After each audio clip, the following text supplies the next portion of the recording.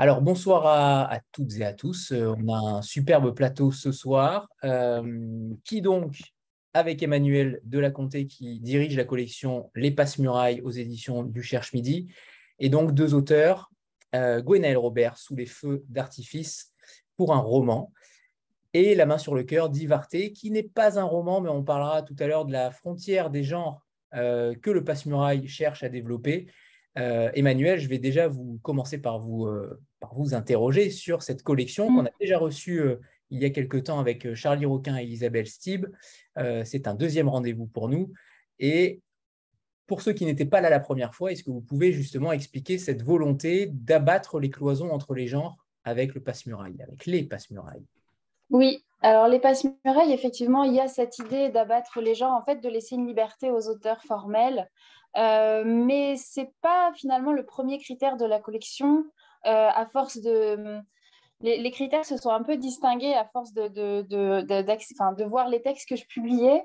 Et je me rends compte qu'il y a, d'abord l'idée qu'il y a une, une, grande attention portée au style, c'est-à-dire que j'essaye de faire en sorte que tous les textes qui apparaissent dans cette collection présentent une écriture qui est vraiment savoureuse. C'est-à-dire qu'on on lit pas seulement ces textes que pour le sujet, on a aussi vraiment un plaisir à découvrir une langue, une voix à chaque fois. Donc ça, c'est vraiment le critère numéro un. Euh, par ailleurs, dans cette collection, il y a aussi l'idée qu'on va prendre un grand, un grand plaisir de narration, évidemment, mais aussi s'instruire.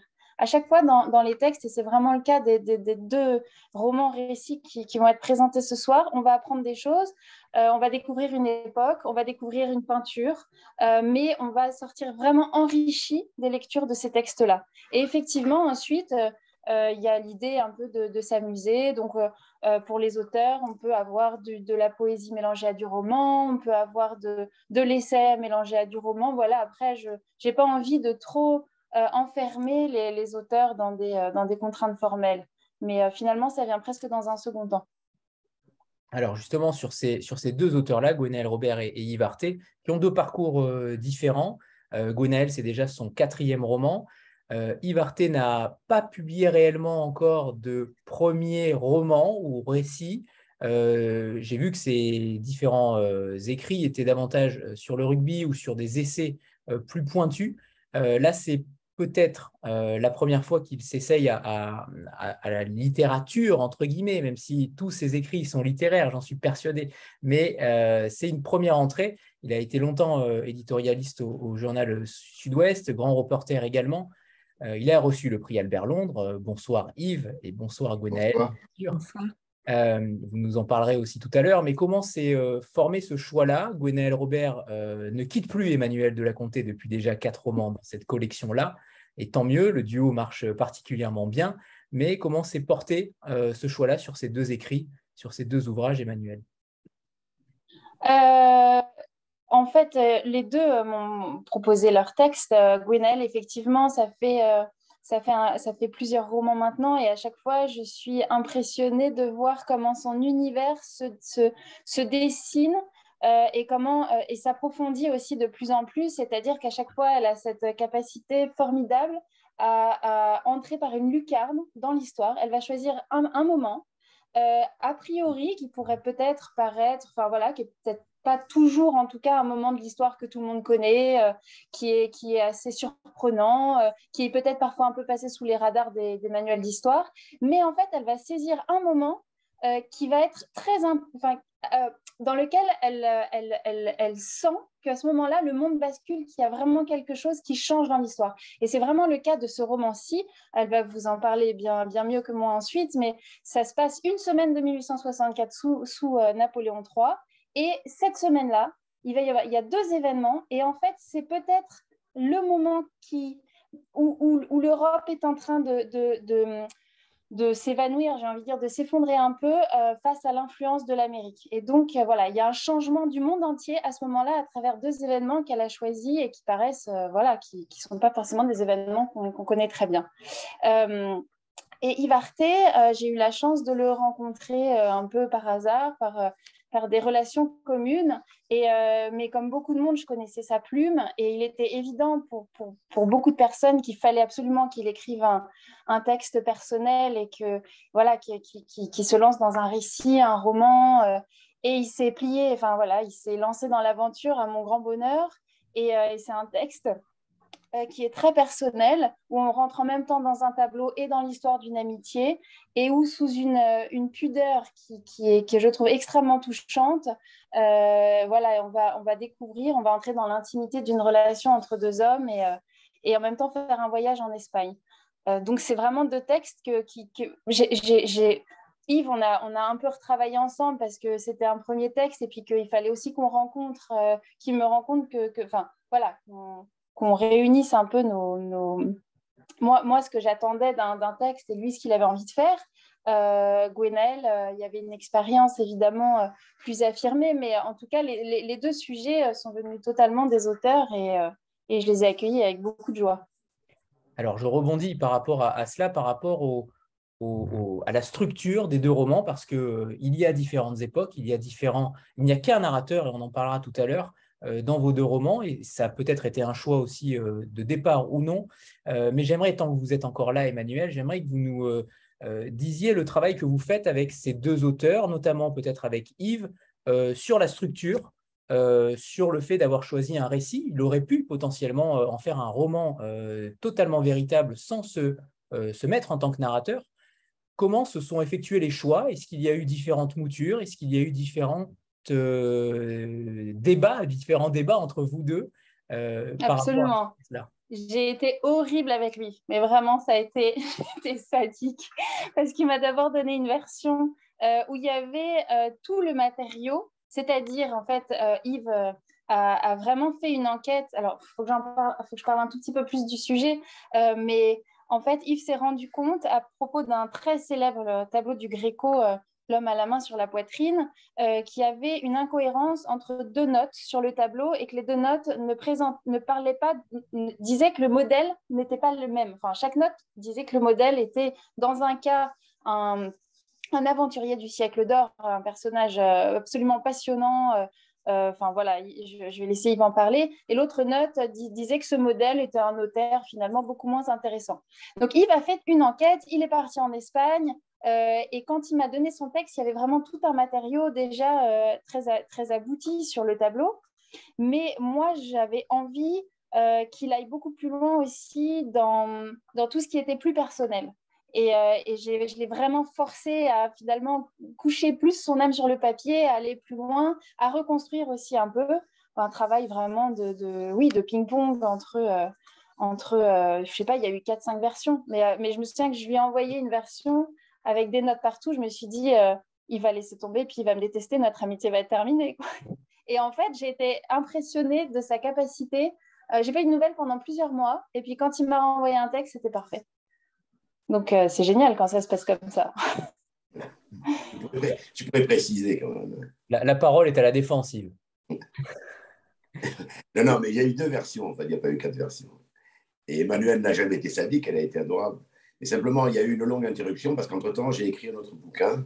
Ah ben oui, c'est vrai. Qui n'a strictement, strictement rien à voir avec ça, qui n'était pas dans la même maison d'édition, qui était au seuil, et qui était un livre, une biographie de Mitterrand à travers sa résidence secondaire. Donc vous voyez, ça n'a strictement rien à voir avec ce qui, qui m'avait amené en Espagne. Et en fait, je, je, dois, je dois rendre hommage, donc je le fais publiquement à Emmanuel, parce qu'Emmanuel, je vais, comme vous dire, j'ai été très longtemps journaliste, donc j'ai été très longtemps reporter, donc j'ai fait beaucoup de, beaucoup, beaucoup de reportages. Et ce livre était peut-être un peu trop journalistique dans le sens où j'étais focalisé sur l'enquête. Emmanuel m'a dit, tu, peux, tu ne peux pas rester sur, sur l'enquête, il faut absolument que tu ailles dans également ce que j'avais esquissé, qui était une relation d'amitié avec euh, quelqu'un qui qui a existé, bien sûr, hein, et qui a pour moi été un mentor, une, sorte de deux maîtres. Et en fait, comment vous dire, en me disant ça, elle allait chercher en moi quelque chose que je ne disais pas assez, mais que je voulais faire, ça fait très longtemps que je voulais écrire sur le thème de l'amitié masculine, qui est un thème finalement très peu présent dans la littérature, qui est très difficile à écrire. Et c'est vrai que j'allais baver pour l'écrire parce que c'est très compliqué d'écrire, de, de, raconter ce que c'est une amitié masculine et essentiellement dans un rapport de maître-élève. Voilà. Donc ça a été cette difficulté qu'il a fallu lever. Et grâce à l'observation d'Emmanuel, euh, je, je, je, pense qu'il suis arrivé. Mais après, il n'y a pas eu quatre, quatre, quatre manuscrits. il y en a eu non, il n'y a pas eu. non, non, il y a eu des allers-retours, je veux dire, plus que des versions. Des discussions. Bon, parfait, parfait. Alors, Gwenaël, à présent, euh, j'aimerais que vous nous racontiez la, la, genèse et aussi la genèse pour, euh, pour Yves tout à l'heure. Euh, mais sur cette histoire-là qui paraît euh, assez folle, qui a bousculé, qui bouscule le monde dans ce roman-là. Il y a beaucoup de sujets à l'intérieur de ce livre, beaucoup de sujets passionnants, et comme l'a dit Emmanuel, on apprend beaucoup de choses, et ça c'est toujours agréable quand on, quand on vous lit. mais la genèse de cet épisode, est-ce qu'il y a eu un déclic, Emmanuel? Oui. Oui, juste parce que je vais malheureusement devoir m'éclipser, mais avant de laisser la parole à Gwenaëlle, sur le texte de Gwenaëlle, je tiens à dire, euh, elle, le dira, elle va le dire elle-même, qu'en fait, Gwenaëlle a beaucoup travaillé avec mon père, qui est un écrivain et qui est, aussi finalement est devenu petit à petit éditeur et qui, d'ailleurs est un formidable éditeur. Et, la relation entre Gwenaëlle, enfin le, premier travail éditorial, le plus important, Gwenaëlle l'a fait avec mon père en vérité. Et moi, je suis arrivée vraiment très humblement et de manière la plus discrète possible à la fin pour donner un ou deux conseils. Mais le véritable travail, en fait, sur le texte de Gwenaël, c'est avec mon père Jean-Michel Delaconté, qui écrit aussi dans la collection. Euh, et, donc voilà, mais je laisse la parole à Gwenaël. Il fallait lui rendre hommage, bien sûr. Absolument. Gwenaël. Euh, le point de départ, mais ça, comme souvent, il est très, très anecdotique, puisqu'en fait, c'est il surgit un jour où je me promène dans un cimetière à Cherbourg, enfin le cimetière du centre-ville de Cherbourg. Euh, on m'avait dit qu'il y avait la meilleure vue sur la rade de Cherbourg. Et dans ce cimetière, je, je vois un carré américain avec des tombes. Alors, euh, des tombes américaines, des cimetières américains en Normandie, on a l'habitude d'en voir beaucoup, mais enfin là, c'était des tombes qui dataient de 1864. Et donc, à partir de là, je me suis demandé ce qui avait amené des, soldats américains à être enterrés à Cherbourg en 1864, c'est-à-dire en pleine guerre de sécession. Et en, faisant quelques recherches, voilà, je suis tombée sur cet épisode assez méconnu, en fait, qui est un épisode de la guerre de sécession qui, qui s'est donc déroulé en France en juin 64 et qui est une bataille navale entre deux navires euh, américains, l'un yankee et l'autre sudiste. Mais ça aurait pu en rester là parce qu'en soi, une anecdote ne fait pas un roman. Euh, et même si je trouvais que c'était évidemment intéressant et que ça, voilà, que ça rejoignait des thèmes qui me sont euh, euh, chers, tout à l'heure Emmanuel, elle disait que c'était souvent le passage d'une époque à une autre. Enfin voilà, c'est vrai que c'est un thème qui, est peut-être récurrent dans mes différents romans. en tout cas, là, effectivement, ça, avait quelque chose qui pouvait rejoindre des, des, des interrogations qu'on retrouve dans mes romans. Euh, mais ça ne suffisait pas à faire quelque chose. C'est quand je me suis rendu compte que cette bataille navale avait eu lieu le jour de l'inauguration euh, du casino de Cherbourg, donc à un moment où euh, une espèce de grande fête est organisée par la ville euh, pour faire de Cherbourg, enfin avec l'ambition de faire de Cherbourg une sorte de station balnéaire à la Deauville, donc avec un, complexe comme ça de, bains de mer, de casinos, d'hôtels, etc. C'est le jour où je me suis rendu compte que les deux événements étaient concordants. Je me suis dit que c'était vraiment un sujet, un sujet pour moi, dans la mesure où ça aussi, je, je pense que c'est aussi quelque chose, moi je m'en suis bon, c'est pas quelque chose de forcément conscient, mais je, me rends compte que c'était déjà le cas dans mes précédents romans, c'est-à-dire cette alliance d'une fête euh, et d'un événement tragique. Euh, et par ailleurs, j'ai été très intéressée depuis très longtemps par la, campagne française au Mexique, donc sous Napoléon III, et en particulier par le personnage euh, de l'impératrice Charlotte qu'on a envoyé au Mexique régner sur un pays dont elle ignorait tout, voilà, qui se termine tragiquement. Et il se trouve que le jour de cette bataille coïncide avec le jour de l'arrivée à Veracruz euh, du couple Habsbourg qui vient prendre euh, pour, euh, pour s'installer sur le trône du Mexique. Voilà. Et, les deux événements, en fait, disent la même chose, enfin, disent quelque chose d'abord de la d'une forme de, de, début de mondialisation, c'est-à-dire que ce qui s'importe d'abord, c'est à la fois les conflits, mais aussi évidemment des questions économiques, parce qu'il y a toute la question en particulier du coton dont l'importation est, devenue impossible à cause du blocus. Euh, donc voilà, cette mondialisation euh, des guerres, euh, de l'économie, voilà, je trouvais qu'elle elle se racontait des deux côtés de l'Atlantique sur cette toute petite semaine de juin et qu'il y avait là un, fort euh, voilà, pouvoir symbolique quoi, dans ces deux événements. Au-delà donc de l'aspect euh, romanesque que pouvait constituer en soi, et puis même incongru, quoi, que constituait en soi euh, l'arrivée des Habsbourg au Mexique ou l'arrivée de la guerre de sécession dans le Cotentin. Il y avait évidemment quelque chose d'incongru, mais je crois au-delà de ça, ça disait quelque chose de, de plus profond sur la marche du monde à ce moment-là.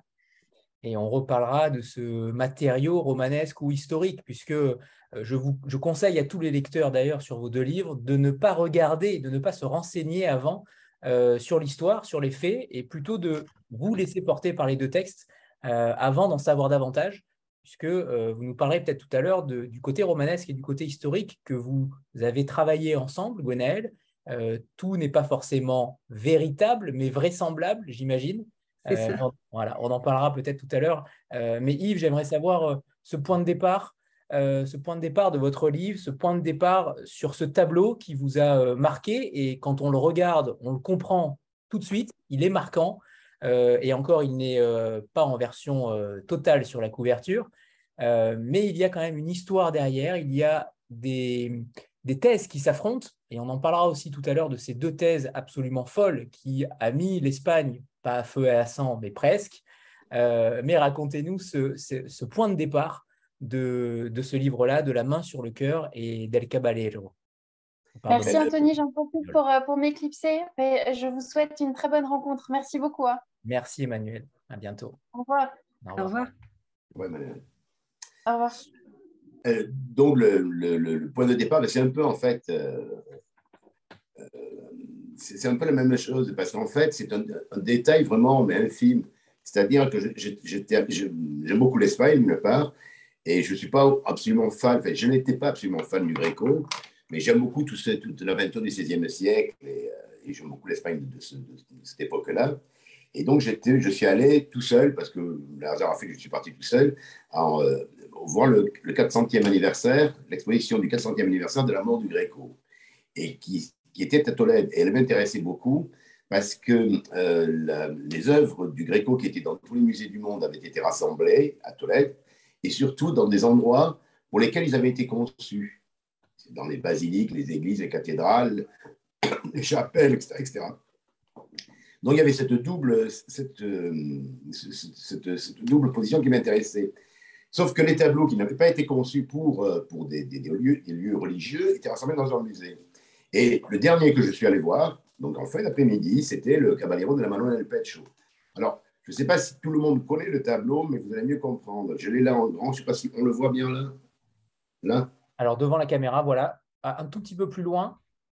Euh, Éloignez-le de la caméra, voilà. Encore un peu.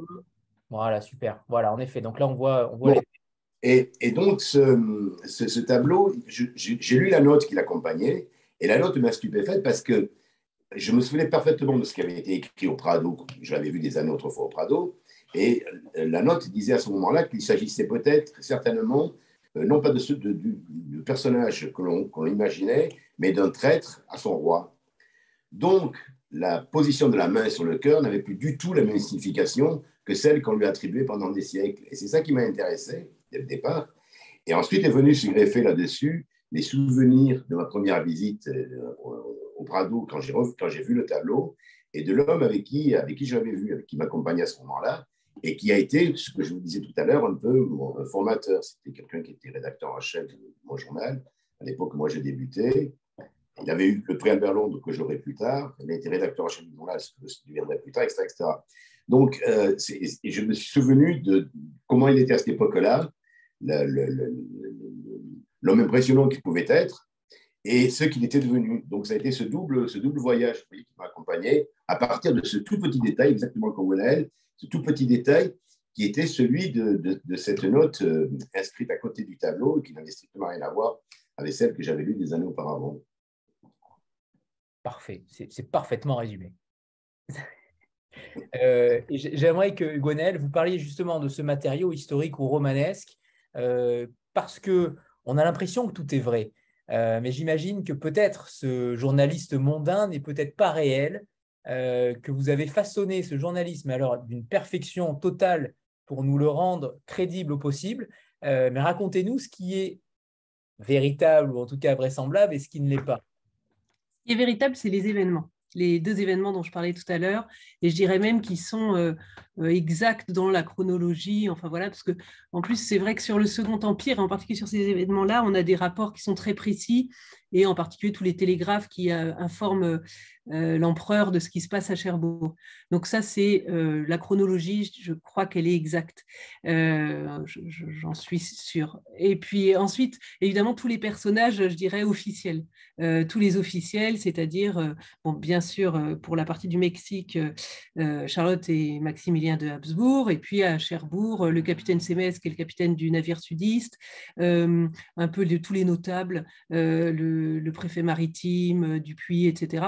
Tous ces personnages-là, ce sont des personnages qui ont réellement existé. Après, moi, ce qui m'intéresse, c'est donner une sorte de panorama très large et donc d'embrasser un peu toutes les classes sociales, c'est-à-dire de, raconter un événement, non pas du point de vue qui est souvent le point de vue de l'histoire, c'est-à-dire que ce qu'on nous raconte en histoire, c'est souvent évidemment le, point de vue avec des, les personnages, je dirais, officiels, voilà, les personnages historiques tels qu'on les croise dans les livres d'histoire.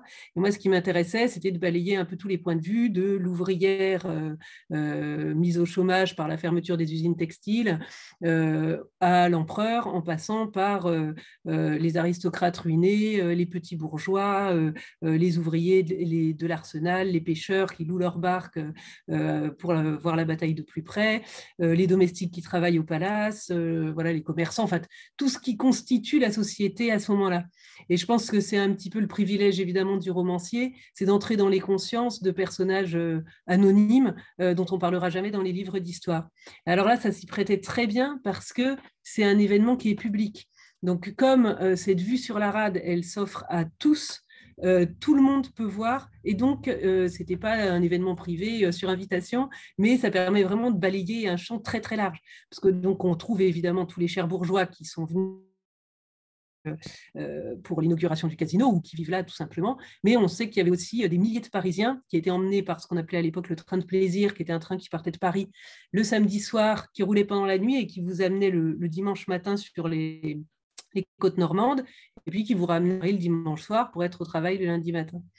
Et ce train de plaisir, il a amené comme ça à Cherbourg des milliers, on compte, il y avait 10 000 spectateurs pour cette, cette bataille navale.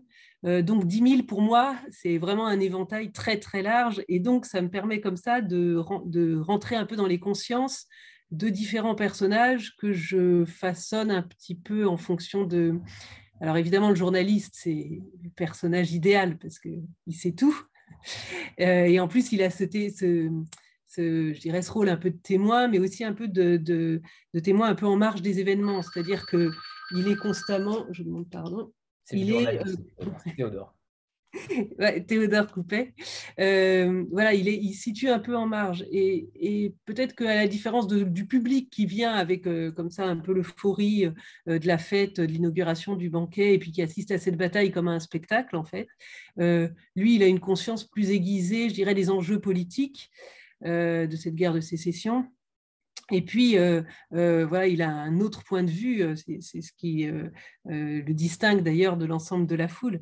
donc, c'est vrai que le, personnage du journaliste, bon, puis ça, ça, rejoint un peu ces personnages de journalistes qu'on trouve beaucoup, enfin voilà, qui est, qui est une, une, catégorie qui s'élève sous le Second Empire, comme on peut le voir chez, chez, Balzac ou chez Bellamy, chez Maupassant, etc. Donc, c'est des, personnages comme ça de journalistes ambitieux. Euh, c'était un personnage qui m'intéressait. Donc, lui est, imaginé, mais de même que l'ouvrière. Euh, l'ouvrière qui se fait euh, engager pour être domestique au casino, ou encore Mathilde Ramure, qui est une, aristocrate désargentée dont le mari s'est ruiné au casino.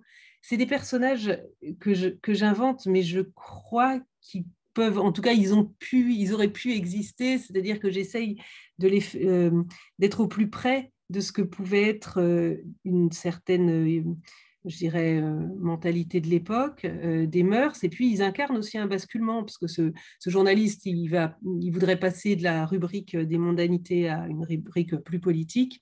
et puis, cette aristocrate, c'est, voilà, c'est une femme qui a tout perdu et qui cherche à, retrouver sa fortune. Donc ils sont tous à un point de bascule. C'est une sorte de...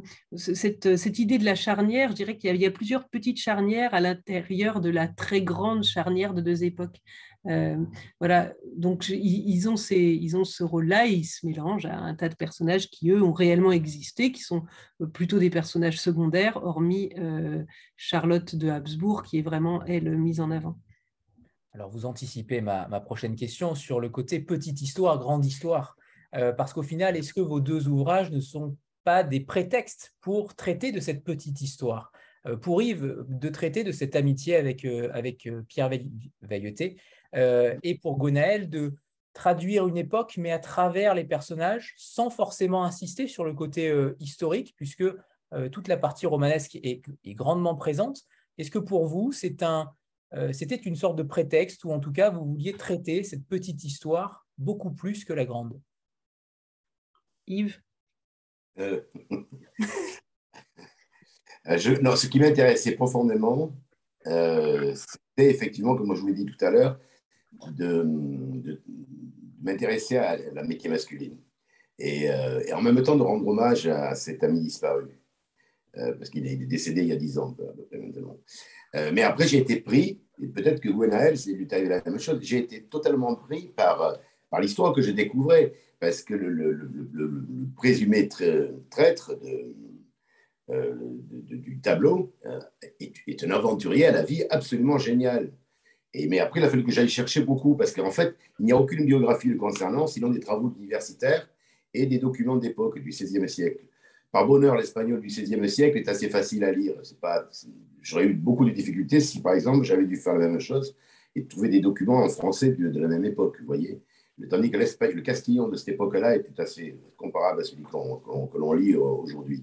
Donc, j'ai pas trop eu de difficultés à, à lire le, les documents de l'époque, mais j'ai eu beaucoup de difficultés à les trouver en revanche.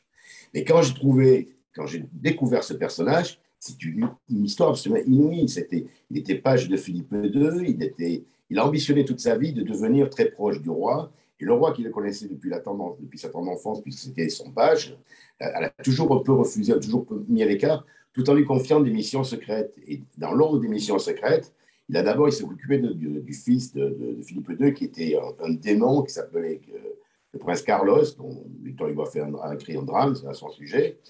Puis ensuite, il est parti à, à, Oran, où, qui était une possession espagnole à l'époque, et il s'est occupé de la garnison d'Oran. Ensuite, il est revenu, il est devenu un gentilhomme de cour, il a intrigué à la cour.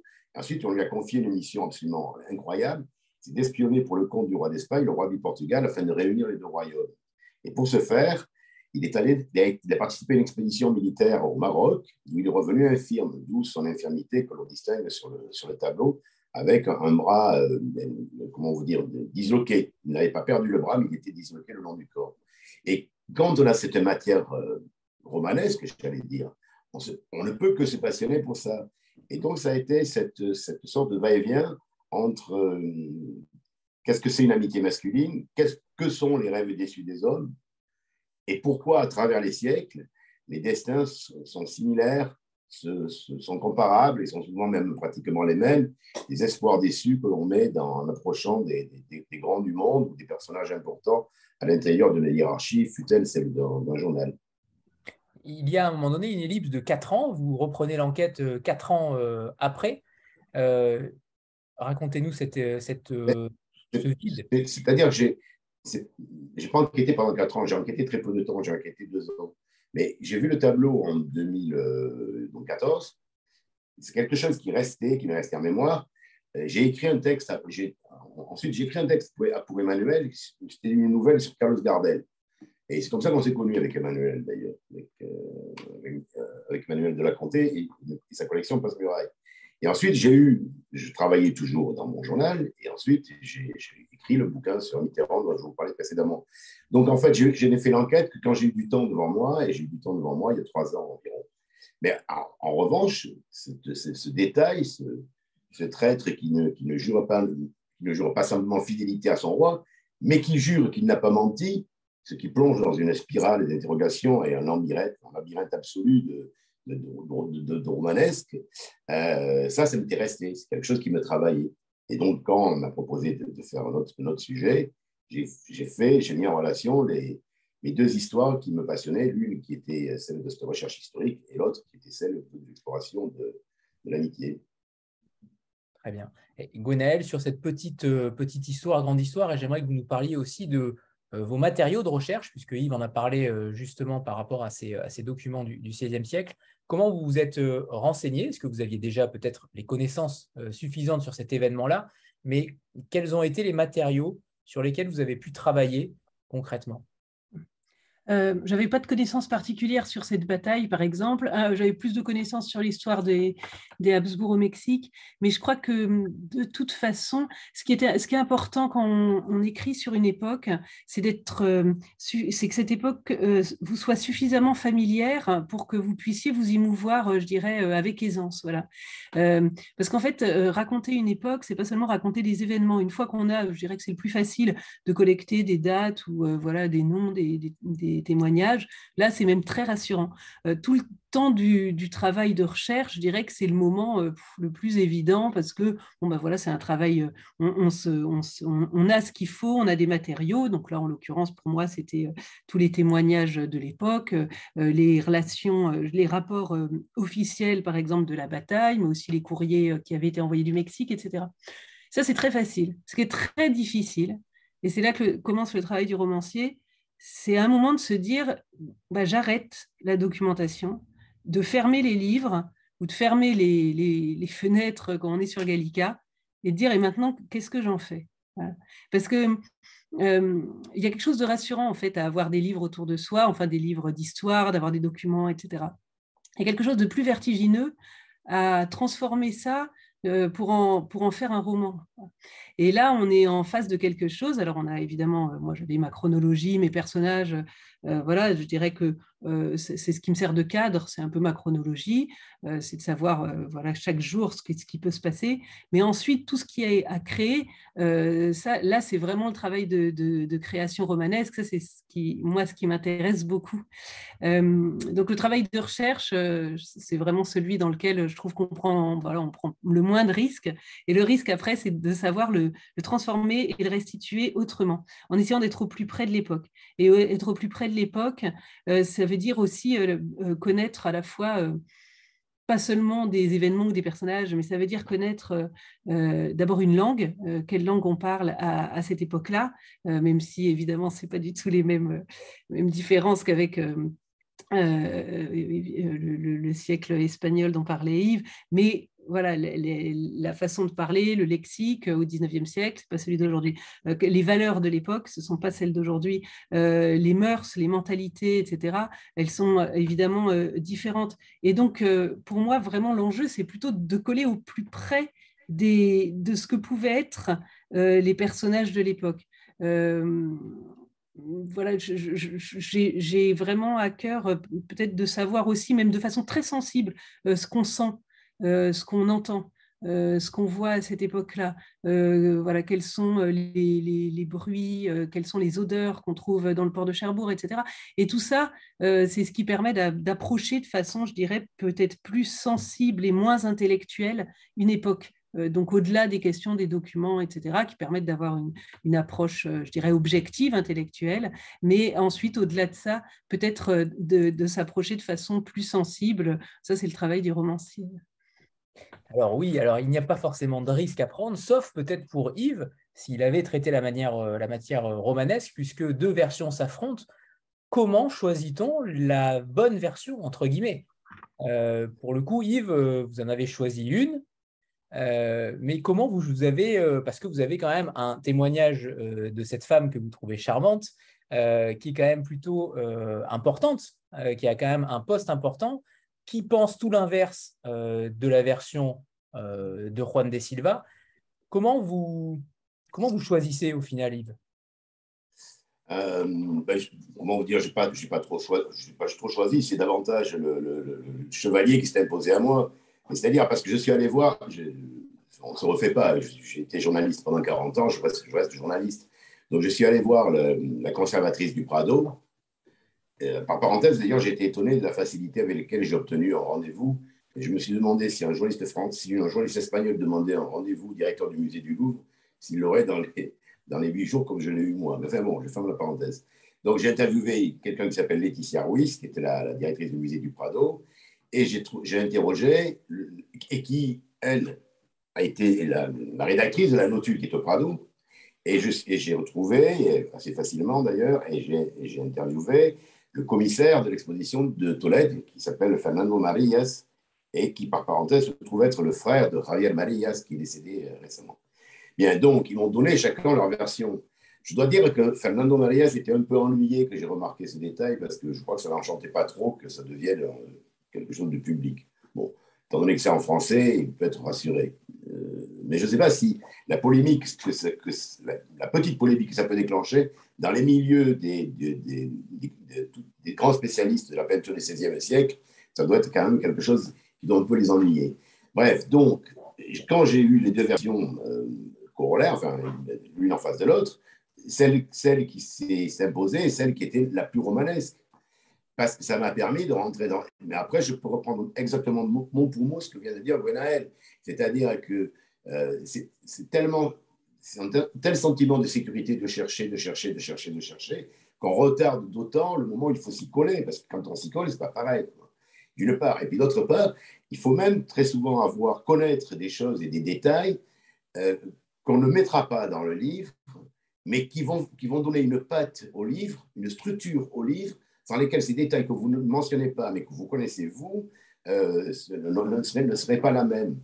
Par exemple, je suis allé m'intéresser au cours du Maravedi, qui était la monnaie de la, du XVIe siècle, et c'était vachement important pour savoir quelle était la capacité de, dépense des, hommes de la cour de l'époque.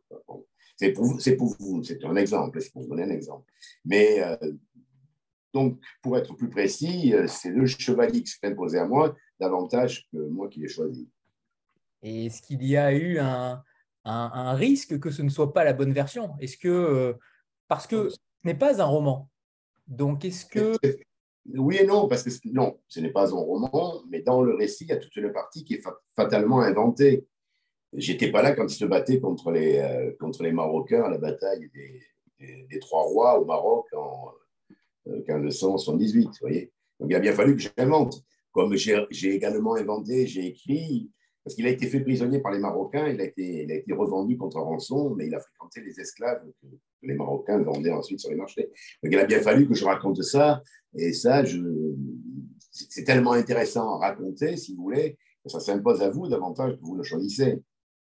Euh, de la même manière qu'il a, il a raccompagné les restes du, roi portugais qui est décédé dans la bataille, et, euh, ce qui produit d'ailleurs une chose extrêmement importante parce que ce, roi Sébastien est devenu un mythe au Portugal.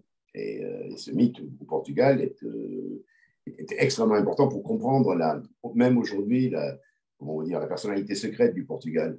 Donc, vous voyez, toutes ces choses-là, c'est tellement passionnant qu'elles euh, viennent vers vous davantage que vous n'allez vers elles. On vous comprend totalement. Jean-Marc. Oui, bonsoir à tous les deux. Bonsoir Yves et bonsoir à Gwenaël.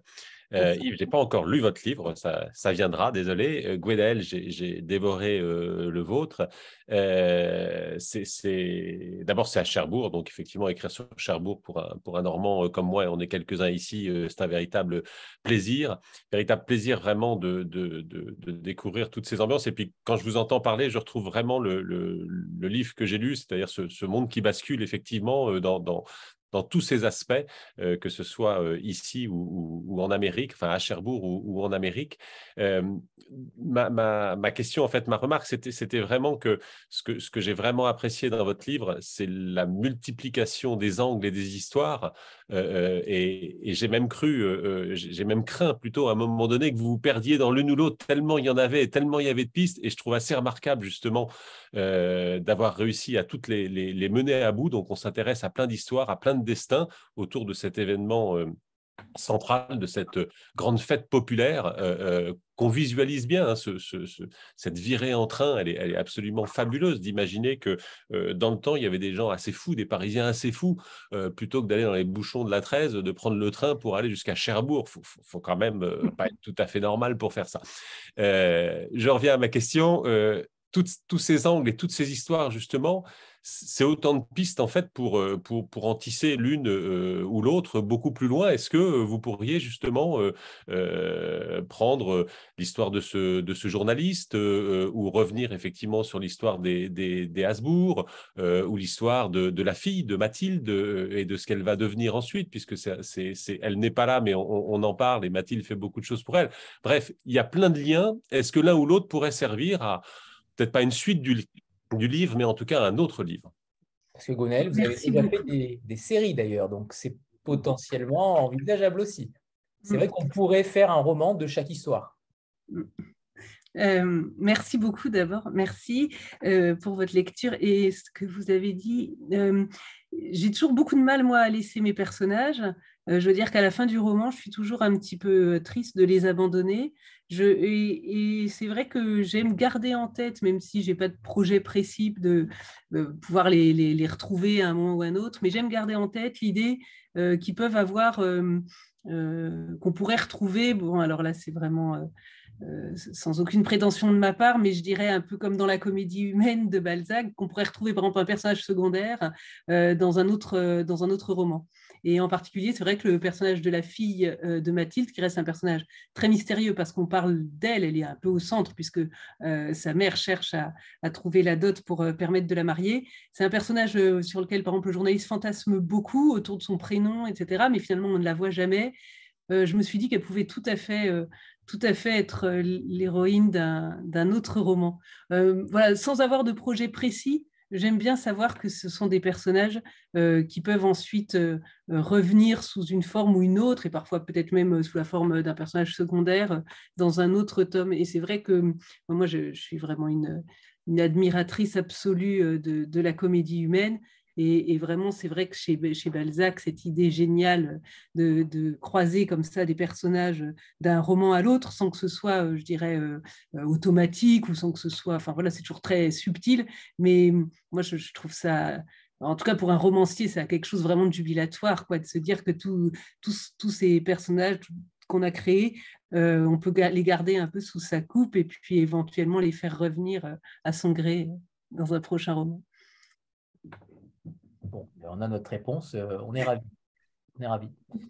Euh, j'aimerais, Yves, que vous nous parliez de cette amitié avec euh, Pierre Veilleté, qui, est décédé sans que l'on sache pourquoi, d'ailleurs, vous le racontez, qui a été découvert par sa femme de ménage. on ne sait pas. Et j'ai cru comprendre qu'il avait écrit cela également dans un de ses romans ou un de ses livres, je ne sais plus. C'était quasiment prémonitoire. J'aimerais que vous nous parliez de lui, de cette relation amical, de mentor, euh, parce qu'il est, il est, il est ambivalent au final. Vous ne, euh, vous n'êtes pas dans une, dans une relation euh, admirative totalement non plus. Vous me permettez de faire, de faire une assise d'abord? Bien sûr, bien sûr. À partir, de la à partir de la réflexion de monsieur, je viens de m'apercevoir, Gwenaël, qu'en fait, il, y a, il, y a, un point commun entre les deux livres qui ne m'avait pas sauté aux yeux, c'est qu'en fait, tu, tu, es en train de. tu parles du, euh, du, dernier descendant des Habsbourg, qui commence avec Charles Quint, hein, d'une certaine façon. Donc, d'une certaine manière, si tu veux qu'on fasse un livre sur les Habsbourg, tous les deux, on va se Bon, je ferme la parenthèse. Pour en revenir à, ce que, la question que vous me posiez, euh, comment vous dire Oui, enfin, non, j'avais une profonde admiration pour, pour Pierre Veilleté, profonde et réelle, parce que c'était quelqu'un d'abord qui était un, admirable journaliste et un, très très grand écrivain, un écrivain peu connu mais très grand écrivain, et qui a écrit euh, au moins 4-5 livres euh, admirables, véritablement. Dont un qui se passe en Espagne à propos d'un tableau de Velázquez, que je n'ai pas cherché du tout à imiter, parce que c'est les circonstances qui ont fait que ça s'est produit comme ça. Et, et c'est les raisons d'ailleurs pour lesquelles je suis allé au Prado.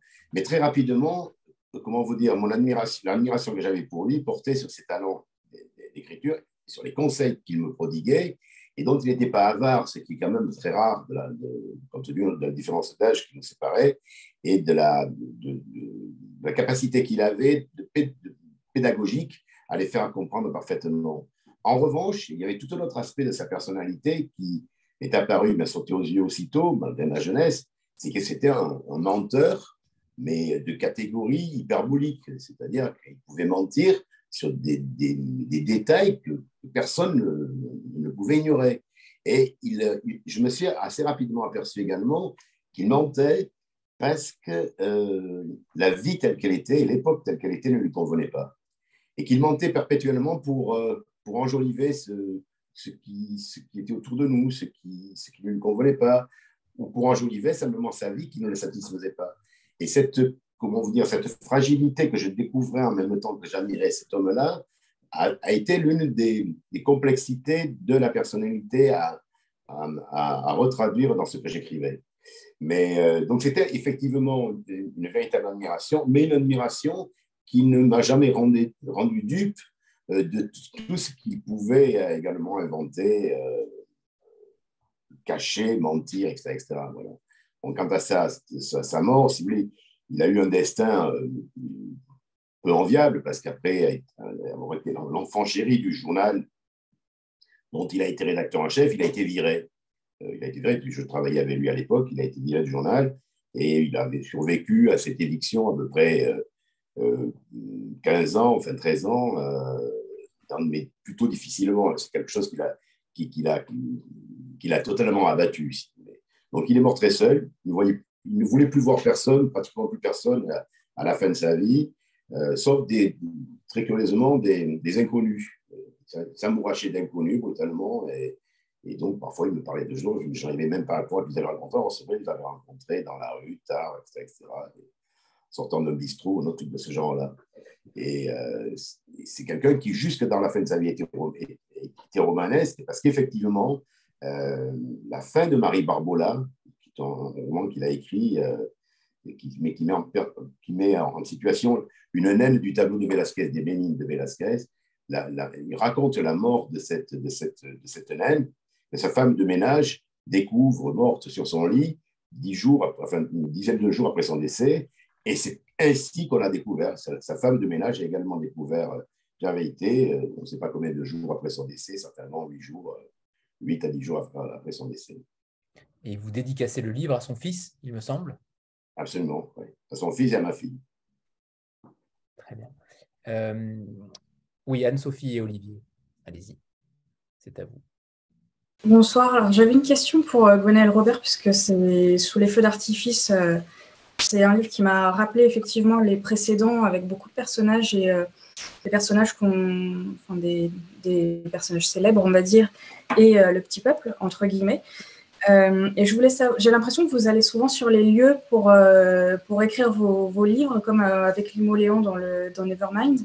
Euh, est-ce que c'est pour vous inspirer? Est-ce que c'est pour faire les différents chemins et trouver les chemins des, personnages? Parce que j'imagine que les lieux ont beaucoup changé depuis cette époque. Et, euh. Euh, ça m'intrigue. Oui, merci beaucoup. moi, je, marche beaucoup, effectivement, pour, pour écrire mes romans. Ce qui, fait que souvent, d'ailleurs, j'emporte avec moi en, en, route quelque chose pour m'enregistrer, parce que c'est souvent en marchant sur les lieux que j'ai des, des sortes de de, vision, quoi, de scène très précise. Et la grande difficulté, évidemment, de Cherbourg, puisque toute la partie qui se passe à Cherbourg, c'est de ne pas pouvoir se représenter. C'est vraiment quasiment impossible aujourd'hui puisque toute la ville a été détruite en 44. C'est quasiment impossible aujourd'hui de se représenter. Enfin, même cette plage, le casino évidemment a, disparu. Enfin, même, les, même les rues elles-mêmes. Enfin, j'avais une carte de l'époque et moi je me promenais dans les rues de Cherbourg. Enfin, j'arrivais pas. Alors en plus, j'ai pas vraiment de, j'ai pas un très bon sens, je de l'orientation, mais vraiment j'étais perdue. Donc, ce qui m'a beaucoup aidé, ça a été de monter la falaise du Roule, enfin qu'ils appellent la montagne, bon, qui est une falaise, et qui permettait d'avoir probablement la meilleure vue sur euh, les eaux euh, sur la rade, enfin sur le lieu en tout cas où s'est déroulée la bataille, puisqu'il fallait qu'elle ait lieu en dehors des eaux territoriales pour des questions politiques, puisqu'officiellement la France était neutre dans le conflit américain. Euh, et en montant en haut, falaise du Roule, là il y, il y avait du, du, brouillard, et puis tout à coup le brouillard s'est dissipé, et là j'ai j'ai imaginé ce que ça avait pu être tout à coup pour tout ce public qui avait assisté à la bataille comme un vrai spectacle, avec une espèce d'euphorie et puis même de, désinvolture. Les gens sortaient du champagne, donc on organise un pari, etc. Et tout à coup, quand la poudre s'est dissipée, parce qu'ils voyaient essentiellement, en fait, ils ont vu très peu de choses probablement de la bataille, hein, parce que la, poudre noyait un peu, et puis ça durait une heure, donc c'est très rapide. Euh, quand la, poudre s'est dissipée, bah, tout à coup, oui, là, de, voir le naufrage d'un des deux bateaux, de voir des, gens à l'eau, et puis des, gens estropiés dont, dont, le bras ou la jambe avait été emporté par un, par un obus. Tout à coup, tout ça devenait très réel. Et ce caractère un peu festif, ce spectacle prenait une dimension tragique. ça, effectivement, c'est quelque chose qui m'a saisi quand j'étais en haut de, de, la falaise. pour le reste, je ne suis pas allée au Mexique non plus. Donc, je me suis vraiment, je me promène beaucoup avec avec Google Maps et puis j'essaye de voir les, lieux où s'arrêtent mes personnages, le palais évidemment qui, qui, existe toujours euh, à Mexico où ils sont accueillis d'abord et puis euh, euh, la cathédrale où ils vont, etc. mais c'est vrai que moi j'accorde beaucoup d'importance aux lieux et aux objets. Euh, les objets pour Cherbourg, il y en avait très peu, mais euh, il, reste un canon euh, parce que l'épave en fait a été de l'Alabama a été ramené, tout a été ramené en fait en Amérique, tout est exposé dans un musée, mais aux États-Unis. Donc en France, on a gardé très peu de choses. On a un canon donc qui est exposé à la Cité de la Mer à Cherbourg, et puis le, journal du capitaine Sémès qui est aussi à Cherbourg que j'ai pu voir. Ça c'était vraiment quelque chose de très voilà, là, tout à coup, euh, de très concret. Quoi. Euh, ouais, les lieux et les objets. Hein, ouais, C'était déjà le cas euh, quand, pour mes précédents romans. C'est quelque chose qui, qui, qui, me guide beaucoup. Quoi. Mm. Alors, Yves, je ne sais pas si Anne-Sophie et Olivier veulent rebondir ou pas, mais vous m'arrêtez sinon. Yves, vous êtes allé à Tolède justement seul. vous vous rendez à cette exposition pour, pour le 400e anniversaire du Gréco. Euh, est-ce qu'il est qu'il y aurait pu y avoir euh, un autre déclic, puisque ce tableau-là est plutôt connu visuellement, mais au final un petit peu inconnu pour beaucoup de monde. Euh, On ne sait pas forcément qui est derrière, quel est ce, personnage également, mais est-ce qu'il y aurait pu y avoir une autre histoire si vous étiez parti accompagné ou votre regard se serait peut-être perdu sur un autre tableau est-ce qu'il y a eu un, le destin, au final, un destin euh, assez incroyable de tomber sur celui-ci et, d'en être tombé sous le charme Écoutez, je ne m'étais pas posé la question, mais je crois que vous avez raison, parce que si j'étais, si j'étais, j'avais vu l'exposition avec quelqu'un d'autre, peut-être que je n'aurais pas imaginé, euh, je n'aurais pas repensé à réalité comme j'y ai pensé, euh, puisque j'ai, pendant la visite, l'essentiel de la visite, j'ai repensé au moment où on allait voir le, on allait voir les tableaux au Prado et quels étaient ses tableaux préférés, euh, euh, puisque lui, il n'aimait pas beaucoup euh, le Gréco. Moi, j'aimais beaucoup déjà les portraits du Gréco quand, j'avais donc 25, 26 ans à peu près. Mais lui, il n'aimait pas beaucoup. Et, mais il m'a mené, en revanche, il, adorait, je ne sais pas si vous connaissez ces, tableaux, le tableau de Goya qui s'appelle Perro Nido. On ne voit que la, tête d'un chien qui, sort de la toile, tout en bas de la toile.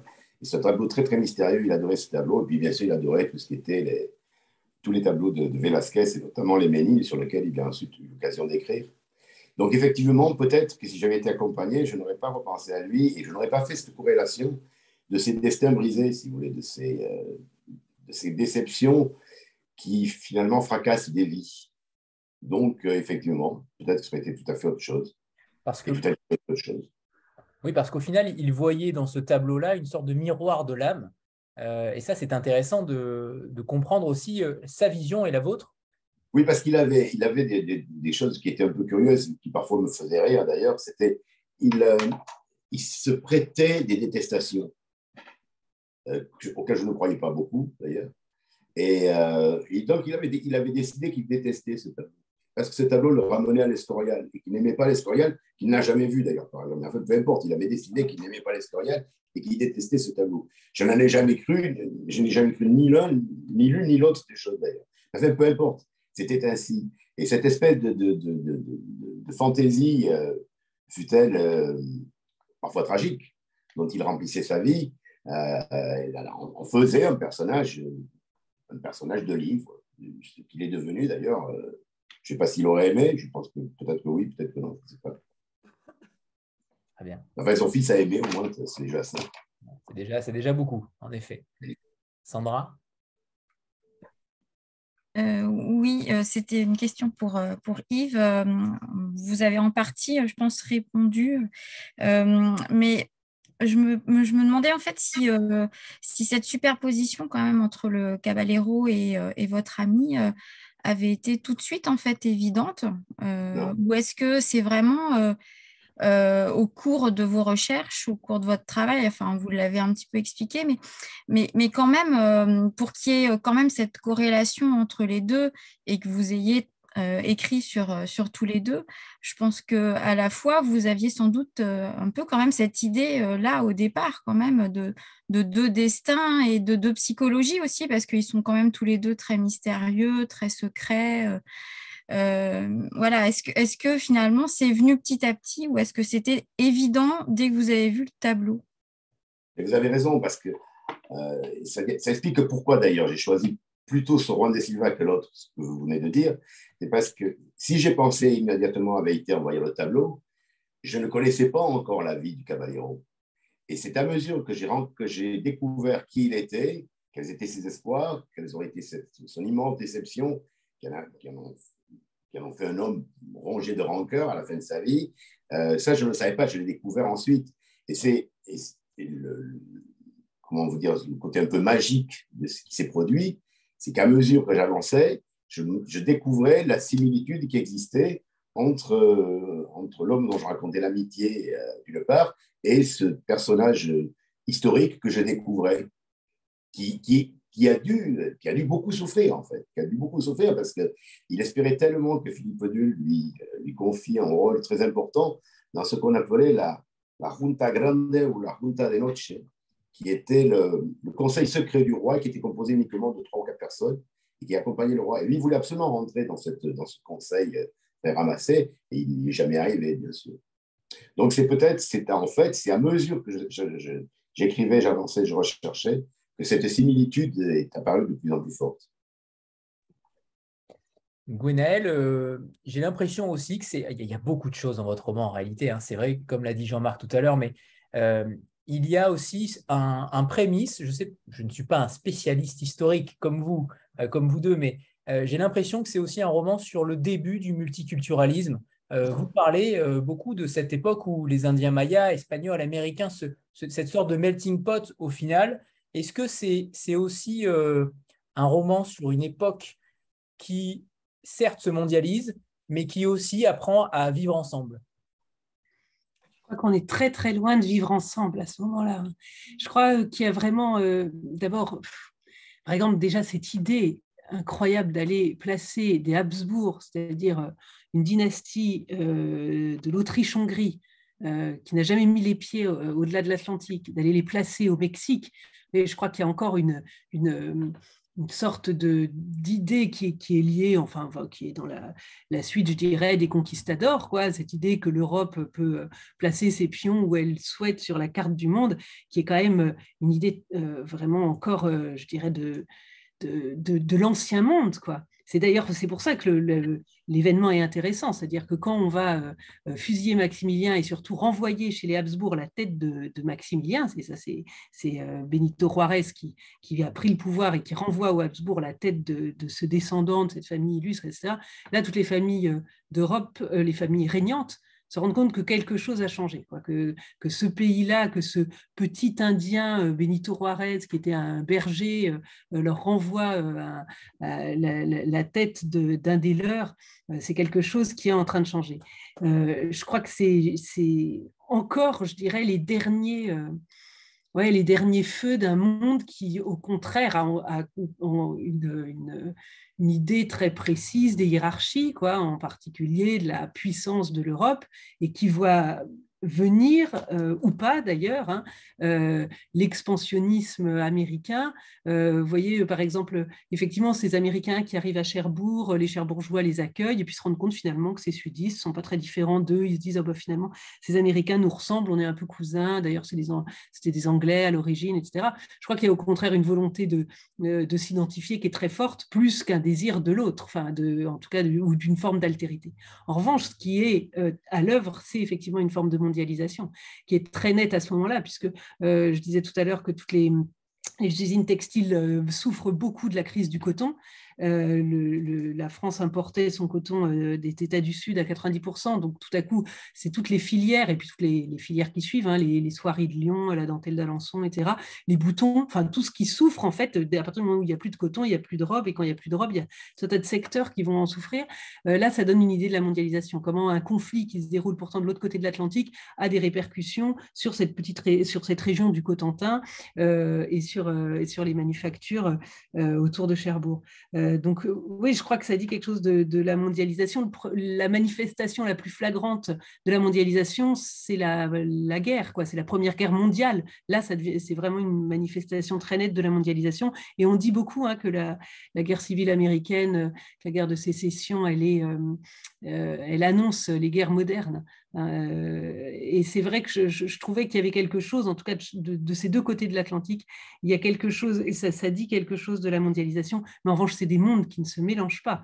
Euh, les, D'ailleurs, quand les Habsbourg arrivent au Mexique, leur première idée, c'est de créer une étiquette, hein, une étiquette qui régisse un peu la vie de la cour, façon euh, euh, comme, comme on vit à Vienne ou euh, dans le souvenir de ce qu'on avait à Versailles. Vous voyez, c'est encore des, des, des, des, personnes qui fonctionnent avec des, vieux schémas quoi, et qui n'ont pas compris que le, monde changeait. Donc, on va se charger de leur, leur faire comprendre. Mais je crois que justement, c'est ce moment de, bascule, il est intéressant parce qu'il met à mal bah, les, les antiques hiérarchies quoi, qui jusqu'ici régissaient le monde. Oui, je parlais notamment de ce moment où Charlotte s'interroge sur ce multiculturalisme, sur comment faire cohabiter toutes ces populations entre elles.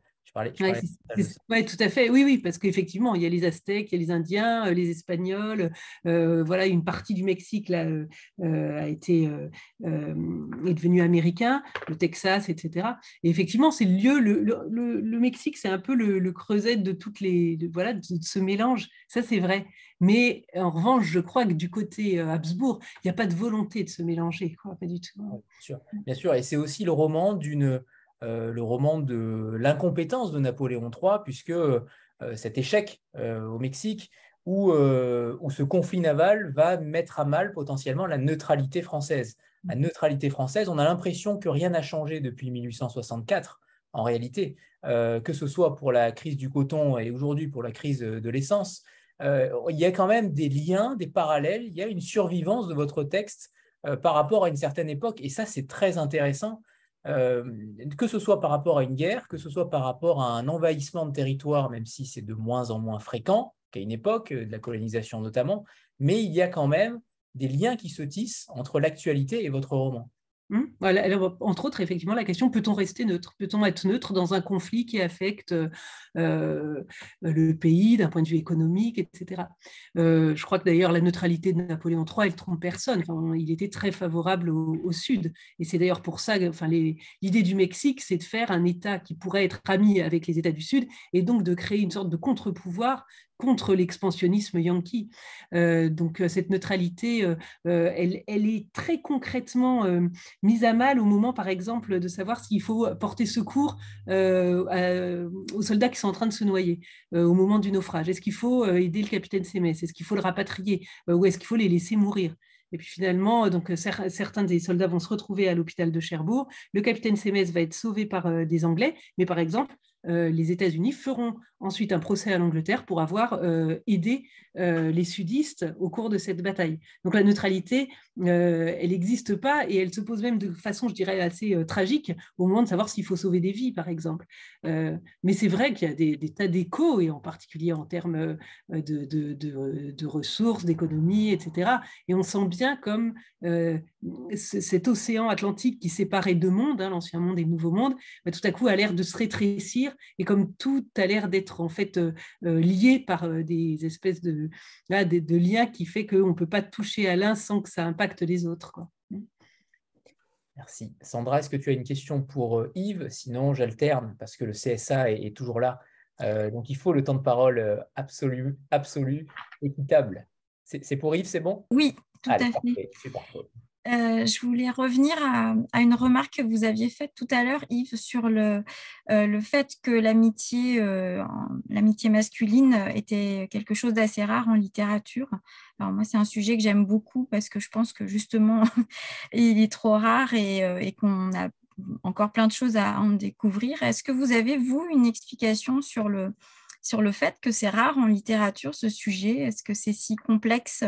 À ce point d'en faire un sujet extrêmement rare et trop rare. Non, je n'ai pas d'explication. D'ailleurs, je dis qu'il est rare, peut-être pas, peut-être que je me trompe, je n'en sais rien. Enfin, je n'ai pas l'impression, on voit davantage de, comment dire, de romans d'amour ou, euh, de romans de liaison, disons que peut-être simplement parce que euh, c'est peut-être difficile à raconter, tout simplement. Euh, il y a une véritable difficulté à, à, faire comprendre, à le faire passer dans, un texte. Ça, j'en suis.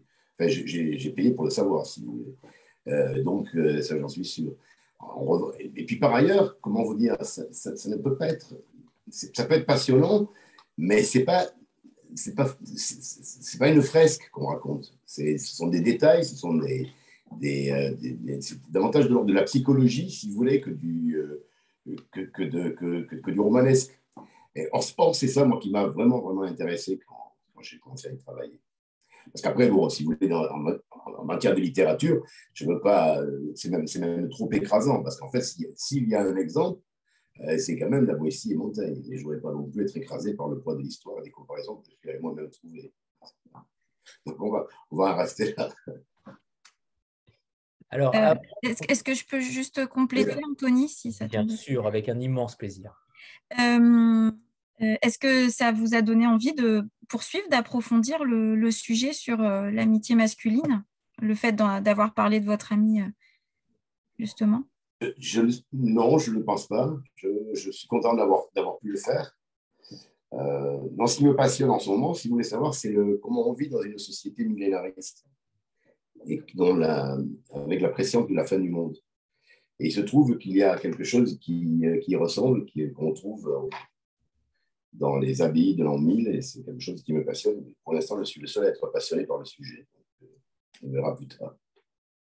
On parlera. c'est un, beau sujet, je trouve. Comment, comment on vit avec l'imminence de la fin du monde sur la tête. Très bien. On va faire une petite photo de groupe avant de passer peut-être à vos extraits. Chacun, vous avez préparé euh, deux extraits. On va commencer par le premier. on fait la petite photo de groupe. C'est parfait. J'en referai une avec Emmanuel aussi. Bon, parfait, merci. Euh, eh bien, on va commencer par Gwenaël alors. Vous nous lisez un passage chacun et on finira tout à l'heure la rencontre avec, euh, avec le second. Euh, donc, j'ai choisi un passage là qui était plutôt Cherbourg et l'autre pour le Mexique. Donc là, c'est Cherbourg. Théodore Coupet note discrètement les dernières informations glanées.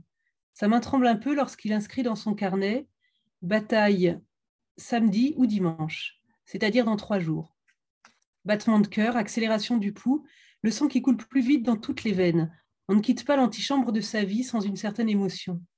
Ce qui le réjouit surtout, c'est cette impression d'être plus lucide que tous les invités de la fête, aveuglés par leur parti pris, étourdis par les termes corsaire, héros, gentleman, tous ces mots qui font perdre la tête aux Français. Mais lui, il sait, il se tient depuis si longtemps en marge, il a le recul nécessaire pour voir ce qu'ils ignorent. Il sait que la roue tourne et qu'elle entraîne le vieux monde vers l'abîme. Il sait que 11 États ne peuvent tenir tête à 34. Il sait que l'esprit d'entreprise est plus fort que l'esprit aristocratique. Il sait qu'il vaut mieux avoir des chemins de fer, des manufactures, des machines à vapeur et des steamers que du coton, du tabac, du panache et de l'arrogance. Il sait que la bataille de Gettysburg a scellé le sort du vieux Sud et que la Confédération ne s'en relèvera pas. L'Alabama est un mythe, il appartient au passé, il ne peut pas gagner.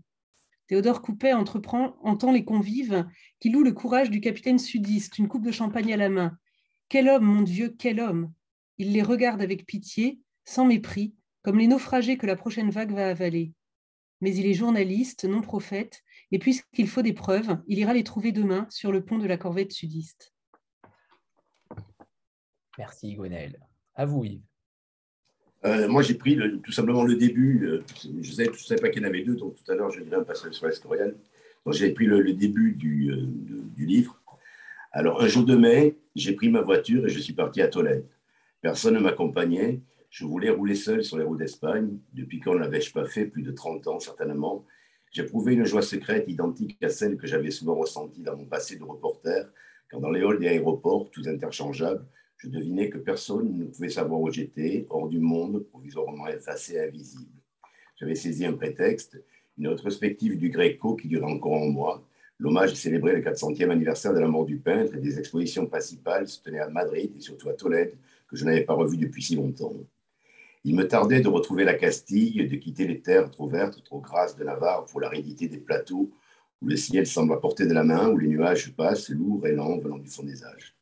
Je reconnaissais les paysages, ils me revenaient en mémoire tels qu'ils étaient dans les années 80. Des noms apparaissaient, maintenant indiqués en grosses lettres au-dessus des quatre voies, en contrebas de l'autoroute presque déserte, on percevait plusieurs chaussées qui, en se superposant de la plus ancienne à la plus récente, suivaient les chemins romains tracés sur les sentiers transhumances, et au bout, il y avait Tolède. C'est à Pancorbo que le pays que je voulais revoir comment ressurgit. Pancorbo est le défilé au nord qui marque l'entrée en Castille, comme celui du Despeñaperros au sud signale l'arrivée en Andalousie. Autrefois, j'ai quitté l'immense taureau d'Osborne, un de ces taureaux d'ombre appartenant à une Espagne révolue et érigé au sommet d'un col, non loin, il y avait une auberge dans laquelle les routières étaient leur Pegaso, suintant d'huile. La vieille route s'est glissée entre les deux blocs fendus par une main colossale, au milieu desquels l'imagerie romantique plaçait des pilleurs de diligence armés de tromblons. En même temps que les premiers sentiments de liberté, les images des années anciennes ont refait surface, celles de ma jeunesse et de celui avec qui j'avais partagé tant de voyages, qui m'avait aidé à me construire, qui avait été mon meilleur ami et dont je ne soupçonnais pas combien l'absence m'obséderait. Il s'appelait Pierre Veilleté il était mon aîné de 11 ans. J'ai appris son décès le soir du 7 janvier 2013. Il était mort seul aussi mystérieusement qu'il avait vécu. La femme de ménage avait retrouvé son corps dans sa chambre, allongé sur son lit, sans qu'on puisse savoir avec précision si en malaise l'avait saisi au soir du réveillon ou à la veille de sa découverte. Combien de fois, 30 ans auparavant, avons-nous pris ces mêmes routes? À cette époque, il me paraissait invincible. Merci. Euh, je rebondis sur ce tableau et sur. Euh, alors, je pense qu'on peut en parler puisqu'il n'y a pas euh, euh, forcément de, je ne pense pas spoiler.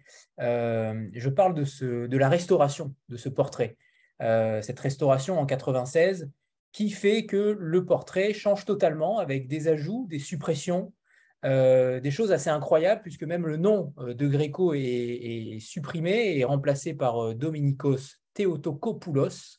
pour le coup, c'est quelque chose qui est extrêmement marquant, qui n'est pas forcément euh, fréquent dans les, milieux, dans les milieux artistiques, en tout cas, euh, je ne le pense pas, mais euh, expliquez-nous cette restauration et le fait que ce tableau ait changé tout simplement de, visage, en tout cas de, comment dire, d'aspect. expliquez-nous cette, cette anecdote. c'est assez simple, si vous voulez. C'est à une époque qui est exactement celle que raconte Gwenaël, c'est-à-dire ce 19e siècle, il y a eu une mode à ce moment-là, euh, issue du romantisme en quelque sorte, de rendre les personnages plus funèbres qu'ils n'étaient. Et comme euh, il, était, il y avait eu une volonté de restauration de ce tableau à cette époque-là, euh, le, tableau, le fond du tableau avait été peint dans un noir très profond, très obscur. Ce qui fait qu'on avait l'impression que le personnage surgissait de la nuit. Et pour des générations de, visiteurs de, visiteurs du Prado, et surtout de ceux qui découvraient ce, tableau, qui a symbolisé ce qu'on appelle la, hidalguilla castillane, c'est-à-dire ce côté un peu tragique, funèbre, venu du fond des âges, cette rectitude euh, castillane de, que, représentait, que symbolisait le, modèle. Euh, ce, tableau était également représenté avec cet homme qui semblait surgir de la nuit. Et puis, quand le restaurateur à qui on a confié le tableau s'en est emparé, il a découvert qu'en fait, le fond était beaucoup plus subtil. Derrière cette couche de noir qui avait été ajoutée au XIXe siècle, il y avait un fond gris rosé beaucoup plus subtil, beaucoup plus élégant, et qui était en fait la signature, des, la véritable signature, la véritable originalité des tableaux du Gréco. Et il s'est aperçu également qu'on avait recomposé la signature du Gréco, donc il a remis la signature et qui existait, qui était simplement recouverte.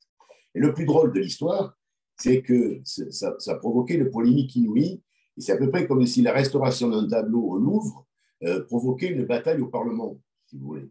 Parce qu'un député s'est emparé de l'affaire et a dit qu'il était scandaleux de toucher ainsi à un portrait immémorial qui symbolisait l'âme espagnole.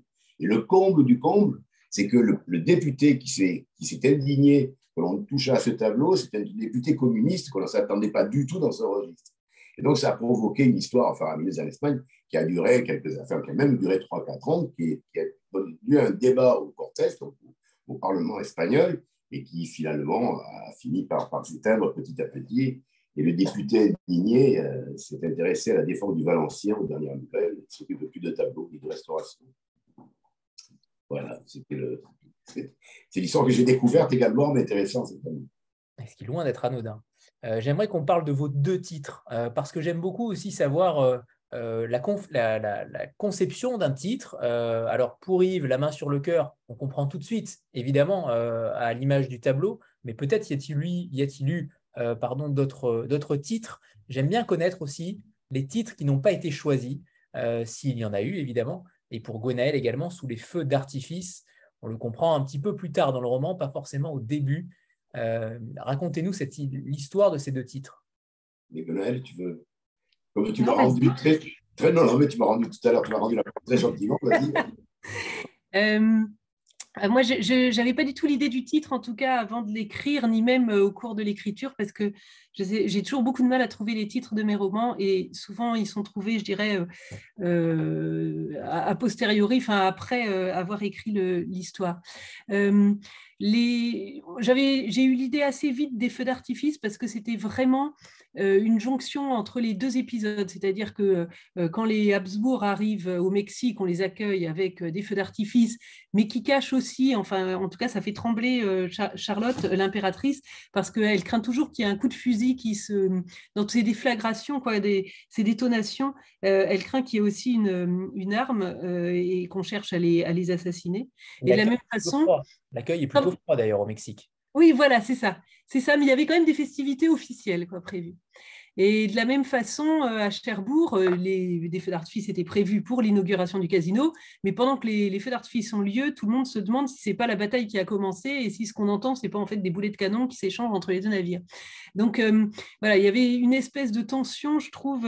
C'est-à-dire que les feux d'artifice, évidemment, ça renvoyait à quelque chose d'assez festif, mais que derrière cette fête, il y avait une, espèce de tension tragique qui est liée évidemment à l'obscurité.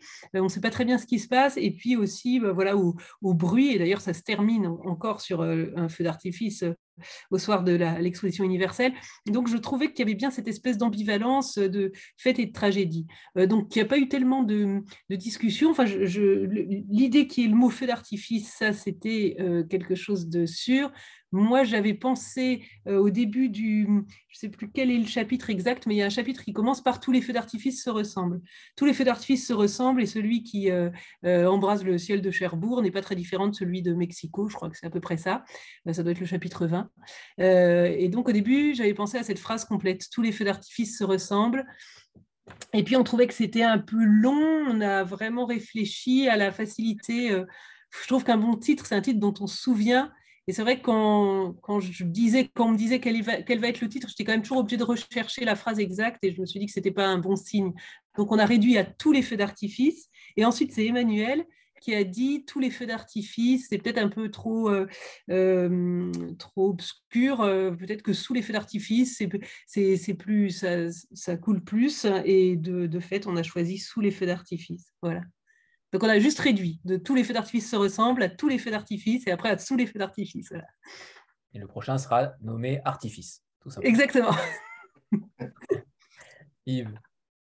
Euh, au début, il devait s'appeler l'homme qui ment. Euh, ah oui, c'était quand même déjà plus à charge. Oui, eh oui. tout à fait. L'homme qui ment.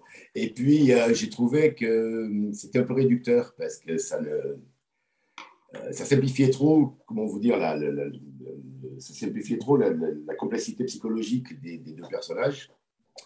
Et un jour, je déjeunais avec un ami euh, qui m'a dit, mais à qui je, racontais ça, il me dit Taléo, je dis, j'ai fini, puis je suis en train de chercher, j'ai pensé à l'homme qui ment, il me dit, ouais, c'est bien, mais je lui dis, je suis tout à fait content parce que, enfin, ce que je viens de vous dire, et il me dit, mais il s'appelle Caballero de Manuel El Pecho, qu'est-ce que tu t'emmerdes, il s'appelle La main sur le cœur. Et je trouvais ça tellement évident que je me suis dit, ben, laissons comme ça, appelons-le la main sur le cœur. Et puis je trouve que c'est joli en plus. Euh, c'est très joli. Vos deux titres sont en effet euh, particulièrement réussis, c'est le moins qu'on puisse dire. Au-delà du, livre, des livres qui sont réussis, euh, les titres sont particulièrement bien choisis et les couvertures aussi, qui évidemment sont somptueuses. les deux illustrations sont véritablement parfaites. J'aimerais que euh, vous nous parliez de vos projets futurs, parce que quand on vous lit, on a envie véritablement de, tout lire de vous. et j'aimerais savoir si vous aviez des projets en cours. Alors, Gwenaël et Yves, vous avez déjà amorcé quelques pistes, mais avec une immense prudence. j'aimerais savoir si vous travaillez sur un projet qui, pas forcément romanesque, mais en tout cas sur un projet culturel dont vous vous occupez actuellement. J'ai toujours en tête une, idée. Enfin, c'est la première fois que je qu'un de mes romans sort sans que j'ai commencé, j'en ai commencé un autre. Mais je m'étais vraiment fixée cette fois de pouvoir me, consacrer à la sortie du roman sans être déjà plongée dans une autre histoire. Donc je me réfrène, mais ça m'empêche pas de, réfléchir et puis euh, d'entreprendre un peu quelques recherches. Euh, j'ai pas d'idée très, euh, voilà, ça reste très embryonnaire, mais en tout cas. Euh, je crois que ce sera quelque chose de peut-être euh, euh, toujours historique, enfin vraiment ancré euh, dans une, dans une époque, mais avec quand même un écho peut-être plus personnel. personnel. Et sur une époque que vous avez déjà déterminée, est-ce qu'il faut attendre un, un, destin, un coup du sort pour que le déclic se fasse? Est-ce qu'il y a souvent cela chez vous ou pas? Non, non, là c'est encore une fois, c'est encore une fois une question de promenade. je rame, hein. je rame, j'essaye, j'essaye, hein, mais je, respecte évidemment beaucoup trop le, statut d'écrivain pour vous euh, tanner encore davantage. Yves euh, Moi, j'ai deux projets, enfin j'ai un projet sur, que sur lequel je travaille en ce moment. C'est l'histoire d'un gitan, et c'est une véritable histoire, hein. c'est pas une histoire inventée, c'est l'histoire d'un gitan avec qui j'étais très ami, qui est décédé aussi. Je sais pas pourquoi je m'intéresse toujours à des personnes qui sont décédées. Mais enfin bref, qui était euh, sur des amitiés masculines. Hein. c'est vrai. Mais là, ce qui me passionne, c'est la fratrie, le, couple qu'il composait avec son frère. Et euh, c'était deux personnages assez intéressants, mais c'est pour une bande dessinée. Je suis le scénariste d'une bande dessinée. J'ai proposé ce sujet et ce sujet a été accepté, donc ça, je vais le, mais c'est la première fois que je fais ça, donc je ne sais pas. Et puis l'autre projet, je vous en ai un peu parlé, euh, c'est cette histoire de vivre dans une société millénariste de fin du monde et, à partir des d'enluminures qui ont été enfin, pas fréquentes, mais enfin qui ont été euh, très, très prisées dans les monastères de, autour de l'an 1000, qu'on appelle les apocalypses, les, les béatus, les apocalypses. Et donc ça, ça me passionne. Mais je ne sais pas si ça fera un livre. Voilà. Très bien. Bon, Gwenaël, Yves a été plus euh, prompt à répondre. Ça veut dire que Gwenaël fera le livre plus certainement que moi. C'est vrai que c'est souvent comme ça. C'est vrai que c'est souvent comme ça. Euh, Anne-Sophie et Olivier, vous vouliez intervenir, je ne sais plus si vous aviez levé la main, mais peut-être que la question. Non, en fait, je suis baissée parce que je m'interrogeais aussi sur la période euh, par rapport à Gwenaël Robert qui est passé de la terreur à Napoléon Ier, puis après on est arrivé sur Napoléon III. Du coup, je me demandais si on allait se rapprocher un petit peu de, de nos jours. Mais je. Anne-Sophie est une femme euh, très longue. Euh, c'est vrai que ça suit une chronologie, mais en fait, moi, je suis très à l'aise, dans, enfin très à l'aise. Je me sens très bien au 19e siècle. Donc, de toute façon, euh, enfin, au 19e siècle large, c'est-à-dire en, partant de la Révolution, je dirais de la Révolution jusqu'à jusqu'à 1900, quoi. Euh, donc, voilà, ça se situe entre ces bandes chronologiques. Plus on avance, plus on a des éléments. Je pense que d'ici une petite heure, on aura le manuscrit en main. Ah, je plaisante. Euh, alors, on va terminer par euh, votre dernier extrait, votre deuxième extrait à, chacun, euh, à chacun d'entre vous, pour nous donner une autre facette aussi du livre, puisque vos livres sont multiples et abordent différentes thématiques. Je crois que vous avez choisi deux thématiques différentes aussi pour ce dernier extrait. Donc là, on, est au Mexique cette fois avec Charlotte de Habsbourg. Un homme en uniforme, aux épais favoris, pénètre dans la pièce et se courbe avec respect.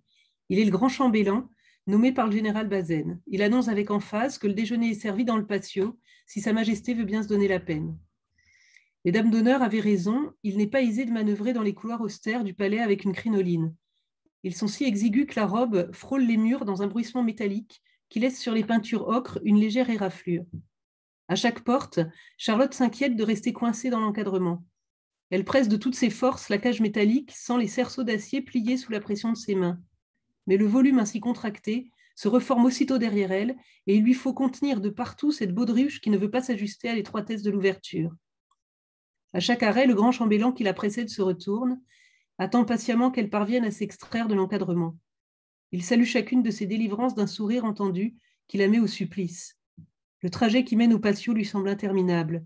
Derrière elle, sa suite assiste au franchissement de chaque porte comme autant d'épreuves initiatiques où l'impératrice risque de laisser plus que sa vie, sa dignité. Une porte, deux, trois, encore une autre. Chaque fois, son sang bat plus fort et son cœur s'emballe. Que se passerait-il si elle restait bloquée? Est-ce qu'on appellerait des valets, des soldats, la garde, le général Bazaine pour la pousser? Elle devine déjà la rumeur qui se répandrait dans le palais et au-delà, derrière ces murailles, le peuple amassé sous le balcon, répétant Astacada, Astacada, ça deviendrait son surnom, l'impératrice Astacada, l'impératrice coincée. On ajouterait dans tous les sens du terme, et on rirait à cause des enfants qu'elle n'a pas eus, de son corps toujours vierge après sept ans de mariage. Elle se figure les caricatures, les scénettes dans les auberges en fin de repas, des hommes la singeraient coincés entre deux tables graisseuses, un vieux tonneau caché sous leur poncho sale.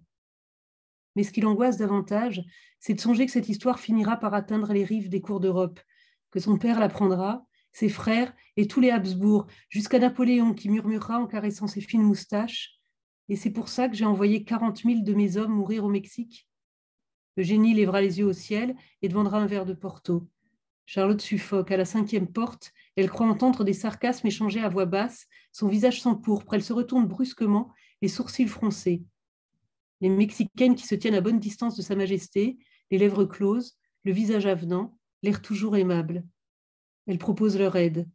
Mais Charlotte secoue la tête, gracias, et prend son parcours d'obstacles, le cœur serré d'une nouvelle angoisse. Est-ce qu'elle deviendrait folle? Merci, Gwenaël. à la lecture des extraits que vous nous faites, euh, Emmanuel parlait tout à l'heure de style, et là, clairement, on l'entend, on le lit, et c'est clairement aussi des voix qu'on entend peu.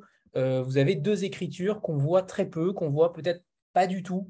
Euh, on parlera peut-être tout à l'heure, euh, juste après, de vos influences littéraires. J'y ai vu du Pierre Lemaître chez vous, Gwenaël. J'y ai vu cette, faculté à, s'emparer d'un sujet historique et à y tisser des liens entre, les personnages. Et, je trouve ça assez fort. vos deux textes sont extrêmement forts sur le style euh, dont Emmanuel parlait tout à l'heure euh, alors pour ce qui me concerne, j'ai choisi un extrait, c'est sur l'Escorial, une rencontre que j'ai imaginée entre Juan de Silva et, l'empereur Philippe II. Euh, L'Escorial, c'est le, vous savez pas, c'est le palais qu'a fait construire, construit Philippe II tout, au long de sa, tout, tout, au long de son règne. L'Escorial a la couleur de l'acier et la froideur des lames. Son nom lui vient des mines de fer abandonnées recouvertes de scories de minerais.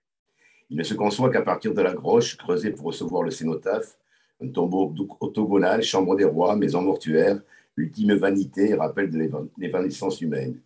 Philippe II a fait venir les restes de ses ancêtres dans de longs cortèges funéraires. Il a exhumé leurs cadavres de leurs sépultures, corps momifiés, putréfiés, os devenus poussière. Depuis le monastère de Yuste et celui de son père, depuis Grenade, des ancêtres de la Reconquête, depuis Tordesillas, Valladolid, d'Estrémadure, c'est des aïeux qui ont précédé. Lentement, des corbillards tirés par des chevaux en panache de noir ont traversé l'Espagne, suivis d'une cohorte de moines. De les a rassemblés dans cette demeure des morts. Leurs noms sont gravés à même la pierre. On y accède par l'escalier étroit. Le granit cède peu à peu devant le marbre, grège d'abord, puis rouge vénédant noir qui gagne au point d'envahir l'espace et le rendre étouffant. C'est la tombe matricielle, pyramide inversée voulue par le souverain, sur les dépouilles de sa dynastie, il a construit un temple. Et encore au-dessus, surprenant de lumière et de, sérénité au sortir d'ossuaires terrifiants, il a fait aménager des appartements ostentatoires de blancheur. Philippe II vivait entre ces murs chaulés, à peine rossés par une frise azuleros, dans des couloirs qui mènent à la chambre où il se réfugiait. Une cellule dont une porte donne sur le cœur de l'église, juste au-dessus de la capilla Mayor. De là, il voyait tout, surveillait la préparation des messes, ne tolérait aucune imprécision, faisait reprendre l'ordre des burettes et des aiguières mal placées sur l'autel. C'était son seul luxe, sinon une table, une chaise, une banquette pour poser au pied rongé par la goutte, le lit où il mourut, une couche minuscule où l'attendait le trépas, le corps ravagé de plaies et d'ulcères, confiné dans une puanteur suffocante. Un jour, soulevant ses bras, il montra son fils cadet destiné à lui succéder et qui portait le même nom de Philippe, de quoi était fait l'être le plus puissant du monde, de chair corrompue. Juan de Silva, lui aussi, est venu prendre ses ordres, ses missions portugaises. Il est arrivé le cœur battant, plein d'espoir et d'appréhension, retrouvant la cour qui se murait à mesure des ans. Il a vu le monumental ouvrage s'élever. Il a assisté à la claustration volontaire de son monarque, puis pris ses lettres, accepté les dernières missions qui étaient une autre humiliation. Puis il est reparti vers Tolède où le Gréco terminait son portrait. Le peintre lui a demandé de poser les doigts sur la poitrine, à moins que ce soit lui qui l'ait voulu, pour témoigner de sa, de sa fermeté au-delà du sacrifice, comme dans le cri de l'espolio. À qui Juan de Silva destinait-il ce message? Cette main sur le cœur est une offrande, à chacun d'en faire ce qu'il veut. Il signifie qu'il accepte l'injustice qui lui est faite et dont il meurt de chagrin. Conjure-t-il ce qu'il craint le plus L'impuissance et l'incapacité à repartir pour de nouvelles missions Dit-il au roi une dernière fois qu'il aurait tort de l'oublier tout à fait, car il est toujours là, servir, irrémédiablement aux ordres de Sa Majesté, peut-être simplement désigne-t-il son cœur, l'organe de l'amour, par, le, par, lequel il sait qu'il n'a pas failli mais beaucoup menti. Il le fallait, il fallait bien rebondir, trouver de quoi survivre, parvenir à dissimuler ses desseins, à taire ses secrets. Alors devant le peintre, il refoule la détresse qui le saisit au moment où il devra récolter cette reconnaissance qui ne viendra plus. Il pose pour masquer la chute qui l'emporte. Merci, merci, merci à tous les deux. Euh, donc une dernière question par rapport aux, auteurs qui vous façonnent, que vous aimez, que vous aimez lire, consulter, peut-être relire. On parlait tout à l'heure de Balzac et clairement il y a un relan balzacien, c'est évident dans, le vôtre, Gwenaël. Euh, mais est-ce qu'il y a des auteurs qui vous accompagnent au long de votre écriture euh, tout au long de votre écriture, ou particulièrement pour ce récit ou ce roman-là, mais est-ce qu'il y a des écrivains qui ont pour vous une valeur sentimentale plus forte que d'autres? Euh, Alors, je ne dirais pas qu'ils m'accompagnent au long de l'écriture parce que quand j'écris, je lis aucun roman. Euh, je, lis vraiment uniquement des choses très document, des, des, choses très documentaires. Mais en revanche, c'est vrai que moi, d'abord, j'ai une passion pour les romanciers du 19e. Euh, Balzac, évidemment, mais j'adore Victor Hugo, euh, j'adore euh, Alexandre Dumas. J'ai vraiment découvert d'ailleurs l'histoire. Je crois que mon goût de l'histoire est vraiment né de la littérature, et en particulier des romans du 19e siècle. Et après, en termes d'auteurs, de, je dirais, contemporains, vous avez parlé de Lemaître, et ça, ça me plaît beaucoup, parce que c'est vraiment un, romancier que j'aime beaucoup. Euh, euh, et je dirais peut-être, euh, pour euh, citer une femme, Marguerite Yourcenar aussi, que j'admire énormément. De belles références. Yves, justement, d'ailleurs, on n'a pas parlé de cette, du fait que vous passiez à un roman-récit, parce que clairement, vous inventez des choses aussi, donc ça aurait pu être un roman, mais je pense que vous l'avez fait aussi pour rendre hommage à Pierre Vailleté, en, tant que, pour éviter de tomber dans le roman total, j'imagine. Euh, mais comment est venu cet attrait de se lancer réellement dans cette aventure-là, puisque c'était nouveau? Euh, comment c'est venu? C'est venu? Parce que simplement le, euh, Emmanuel me l'a demandé. Donc c'est aussi bête que ça. Mais après, pour en revenir à Climat, je, je, suis comme à peu près comme Emmanuel. Je n'ai pas vraiment, je n'ai pas pensé à un auteur quand, quand, quand j'ai écrit. Euh, en revanche, euh, si je dois citer des auteurs que j'aime, au moins, je sais que je les aime parce que j'offre souvent leurs livres, c'est Giono, par exemple, j'aime beaucoup. Dans un autre genre, euh, les auteurs américains des années 20, Miguel Dos Passos, Faulkner, et puis peut-être, mais dans un tout autre genre, je parlerai également effectivement pour de, ce qui est historique, comme c'est marrant d'ailleurs, comme Gwenaël de Marguerite Yourcenar. Et, et, singulièrement des mémoires d'Adrien, bien sûr. Très bien, merci. Et eh bien, décidément, finalement, euh, vos deux livres sont, euh, conjoints. Benoît, euh, Benoît André, que je remercie encore infiniment, a eu raison de coupler cette rencontre. C'est un très bon choix, Benoît. Tu as fait encore une fois très fort. Eh ben, merci. Eh bien, écoutez, je vous remercie toutes et tous euh, pour cette euh, très belle rencontre. Merci à tous les deux euh, de nous avoir consacré ce temps. Et évidemment, lisez ces deux livres qui sont différents, mais qui, vous l'avez vu ce soir, ont une alchimie et des, points communs aussi, jusqu'à Charles Quint. donc, pour le coup, lisez-les parce qu'ils sont brillants déjà au niveau du style, mais également au niveau de l'histoire, comme Emmanuel le disait. Vous apprendrez aussi beaucoup de choses. Et ça, ce n'est pas forcément tous les jours qu'on voit ça dans la littérature française. Donc on félicite encore euh, Emmanuel de la Comté pour cette collection Passe-Muraille qui nous offre des récits totalement différents euh, avec euh, Charlie Roquin, avec Isabelle Stib qu'on avait déjà reçu et qui avait d'autres voix totalement singulières. Donc, merci à, vous tous et merci Benoît également.